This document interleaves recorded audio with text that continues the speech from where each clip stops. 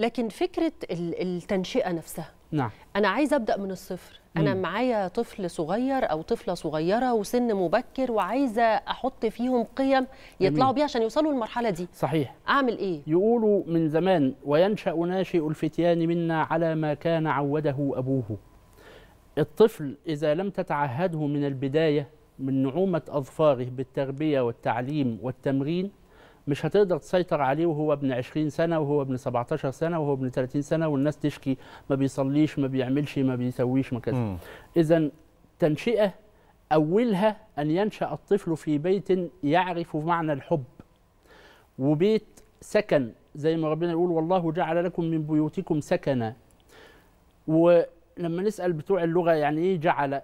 يقولوا صيرة. يعني إيه صيرة؟ يعني البيت قبل الزواج ما كانش سكن. لما اتجوزت بقى سكن. الطفل اللي هينشأ في بيت هو سكن هيكون معد إعداد سليم جدا إنه يواجه المجتمع ويكون إيجابي في المجتمع.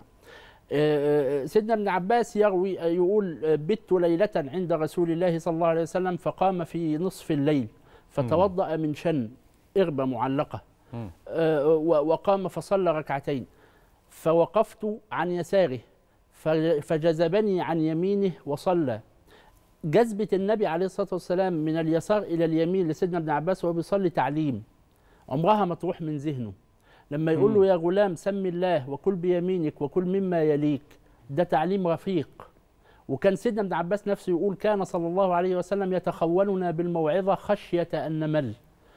الابن اللي انت طول النهار تديله تعليقات وتقول له اعمل وتقول له سوي مش هيستجيب ده ده على ده على أيسر الأحوال لكن هو في في في المقابل يعند معاك.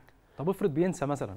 جميل. الانسان وهو يقول ما سمي الإنسان انسانا إلا لنسيانه. هو الإنسان كلنا بننسى كبار وصغار. لكن كيف سألوا ال ال محمد سيدنا محمد بن إسماعيل البخاري. قالوا له كيف تحفظ؟ الحديث دي كلها حفظتها إزاي. و و و وبعدين تبص في الصفحة تحفظها وكذا قال ادمان النظر في الكتب. فاللي بينسى ندمن توجيهه. بس ندمن توجيهه إزاي؟ مره بالقول مره بالفعل مره بالتذكير وربنا سبحانه وتعالى يقول وذكر إن نفعت الذكرى. وإن هنا بمعنى قد. مش. شرطية. يعني مش لو نفعت الذكرى ذكر. وذكر فذكر قد. نفعت الذكرى. يبقى التذكير المستمر والتذكير الدائم والتوجيه متى اقتضى الموقف إليه هم هذا كمان هو. الحقيقة بيبقوا بي- بيشوفوا الأب والأم بيبقوا إزاي. هو في آه. جزء تقليد. نعم. كمان يعني لو السلوك قائم على ال- الاستقامة صحيح. هنا هنا- التعبير يجي- يعني هنا- فهو خلاص هو بيطلع بنفس التنشئة بالضبط. يجي دور القدوة هنا. والقدوة العملية أكثر تأثيرا وفاعلية من القدوة بالكلام.